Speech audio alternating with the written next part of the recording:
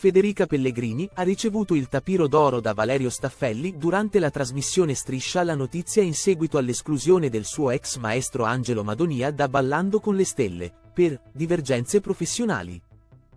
Pellegrini ha espresso la sua sorpresa per la decisione della produzione, affermando, non pensavo arrivassero a questo punto. L'ex nuotatrice ha commentato la situazione evidenziando che l'esperienza di Madonia nel programma è stata compromessa e che il suo percorso è stato interrotto. In particolare, Federica ha parlato di episodi che hanno coinvolto Madonia e Sonia Bruganelli, compagna del maestro. Durante le esibizioni, Pellegrini ha notato che Madonia si girava frequentemente a guardare Bruganelli, rivelando il suo disappunto, questi atteggiamenti mi stavano sulle balle. Mi dispiace perché abbiamo buttato all'aria due mesi di lavoro. La Pellegrini ha quindi manifestato la sua frustrazione per la situazione e il suo desiderio di ripartire.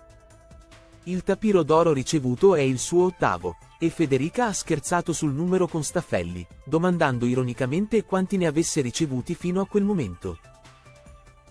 Nonostante l'esclusione di Madonia, Federica ha confermato la sua partecipazione al programma e il ritorno di Samuel Peron come nuovo insegnante.